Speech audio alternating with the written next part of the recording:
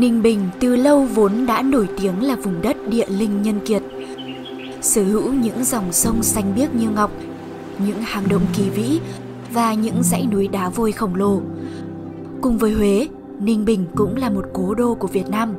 Nên khi đến đây, bạn sẽ phải mê mẩn trước vẻ đẹp mang phong cách cổ kính rất riêng ở nơi này.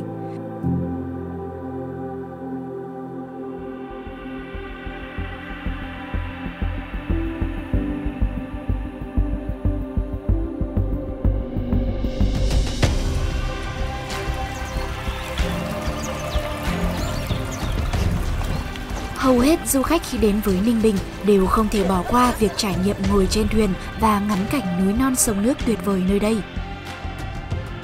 Nên đi thuyền ở Tam Cốc hay Tràng An là thắc mắc của không ít người khi đến với Ninh Bình. Đây đều là những địa điểm nổi tiếng mà chắc chắn ai cũng muốn một lần ghé qua. Mỗi một nơi đều mang một vẻ đẹp, nét đặc trưng riêng. Vậy đáp án là gì? Hãy để mình trả lời câu hỏi này cho các bạn qua một vài cảm nhận và chia sẻ ở bên dưới đây nhé.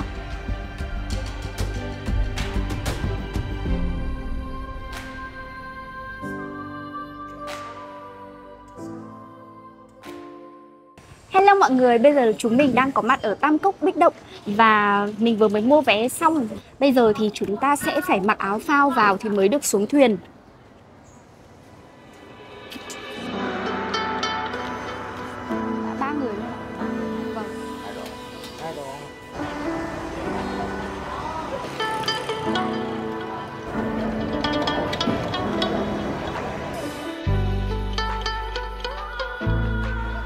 Cả Tam Cốc và Tràng An đều được ví như vịnh Hạ Long trên cạn bởi những mỏm núi đá vôi chập trùng bao la.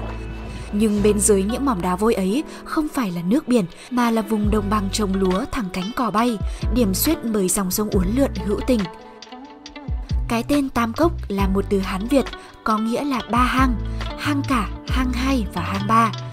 Cả ba hang đều được tạo nên bởi dòng sông Ngô Đồng đâm xuyên qua núi, khi ghé thăm Tam Cốc vào tầm tháng 5, tháng 6, bạn còn có cơ hội nhìn ngắm những cánh đồng lúa chín vàng rực rỡ, vô cùng đẹp mắt ở hai bên sông, tạo nên một bức tranh đồng quê tuyệt đẹp hiếm thấy.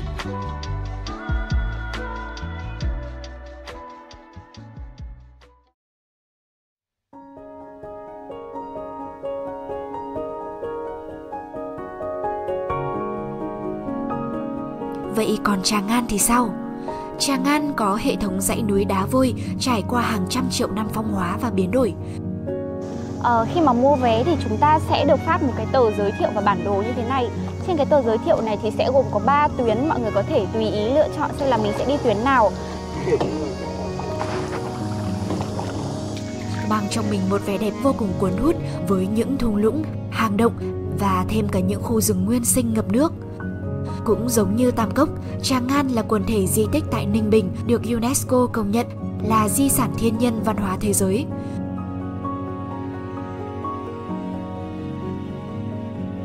Về quy mô, Tràng An thậm chí còn rộng hơn Tam Cốc khi sở hữu đến 48 hệ thống hang động và chiều dài lên đến 20 km. Nếu như ở Tam Cốc bạn khám phá ba hang, thì tại Tràng An bạn sẽ được khám phá vô số hang động như hang sáng, hang tối, hang nấu rượu, vân vân. Đến mỗi hang, bạn sẽ phải bất ngờ trước vẻ đẹp kỳ bí mà thiên nhiên ban tặng cho vùng đất này.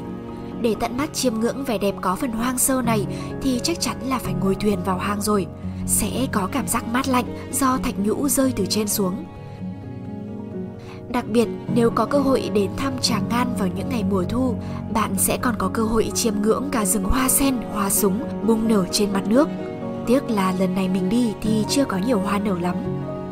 Ngoài ra, khi đi thuyền ở Tràng An thì bạn sẽ đi qua nhiều điểm dừng chân để tham quan hơn. Ở Tam Cốc thì chủ yếu là ngồi thuyền, ngắm cảnh đồng lúa và khám phá hang động là chính. Về thời gian, nếu như bạn không có nhiều thời gian thì hãy đi Tam Cốc bởi thời gian ngồi thuyền tham quan ở Tam Cốc ngắn hơn so với đi Tràng An. Bạn cũng có thể tận dụng khoảng thời gian còn lại để khám phá các địa điểm khác tại Ninh Bình.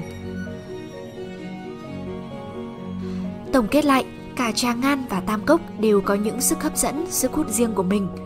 Tùy theo nhu cầu và điều kiện cá nhân của mỗi người mà bạn có thể lựa chọn cho mình một lịch trình phù hợp. Hy vọng rằng qua video vừa rồi thì các bạn đã có thể lựa chọn cho mình và gia đình những địa điểm phù hợp cho chuyến đi chơi sắp tới. Còn về câu hỏi nên đi Tam Cốc hay là Tràng An khi đến với Ninh Bình thì câu trả lời sẽ phụ thuộc vào nhu cầu của mỗi người. Còn nếu như mà có thời gian để đi cả hai nơi này thì còn gì bằng, hãy tận hưởng vẻ đẹp ở cả hai địa điểm này nhé.